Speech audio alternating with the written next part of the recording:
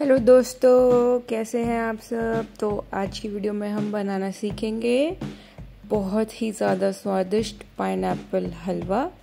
तो जानते हैं इसे कैसे बनाते हैं? सबसे पहले हम मीडियम फ्लेम करेंगे अपनी गैस की और उस पर हम एक पैन रखेंगे।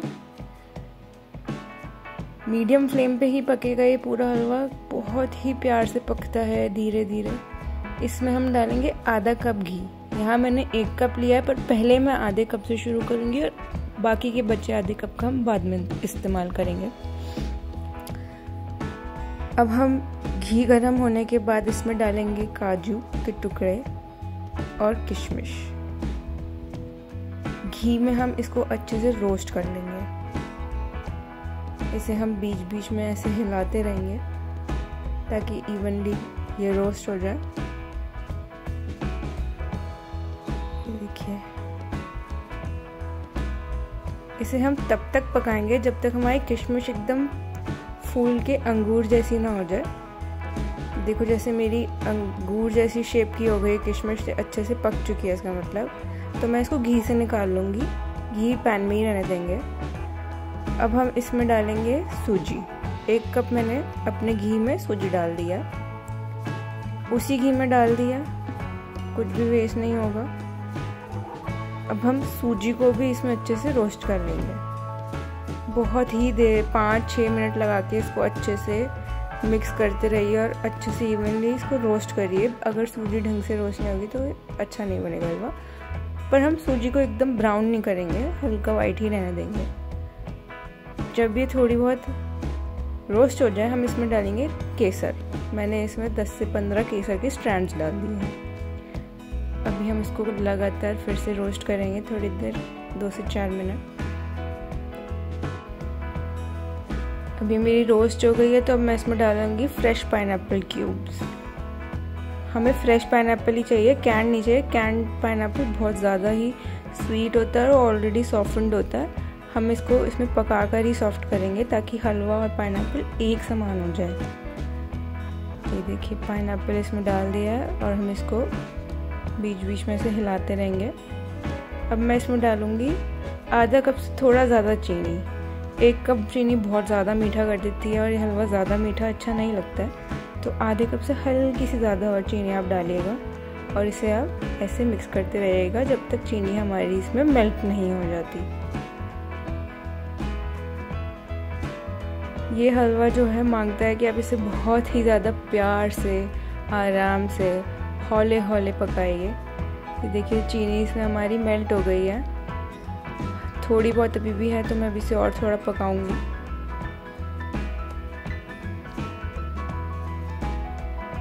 इसमें अब इसमें मैं अपनी रोस्टेड ड्राई फ्रूट डालूँगी। देखो, किशमिश पहले हमारी कैसे अंगूर की तरह फूल गई थी, लेकिन अब वो नॉर्मल साइज़ की हो गई है।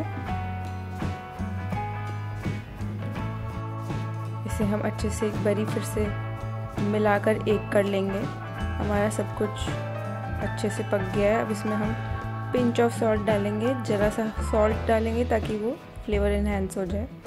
और इसमें फिर हम डालेंगे वन फोर्थ टी स्पून इलायची पाउडर कार्डमम पाउडर कार्डमम की बहुत ही ज़्यादा अच्छी खुशबू आएगी। इसमें केसर है कार्डमम है रोस्टेड ड्राई फ्रूट्स हैं। बहुत ही ज़्यादा रिच हलवा बनता है ये और मखमली एकदम।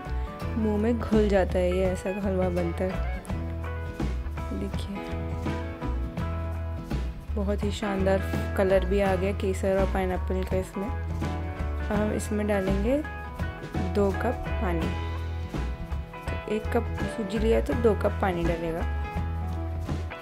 अगर आपने मोटी सूजी लिया तो आपको शायद थोड़ा और पानी डालना पड़ जाए बट देख लीजिएगा एक बारी बनने के बाद। इसको मैं एक बारी पानी में थोड़ा सा मिक्स करके बचा हुआ आधा कटोरी घी ऊपर से ऐसे डाल देंगे। देखिए, बहुत ही ज़्यादा लाजवाब घी से भरा हलवा, मज़ेदार।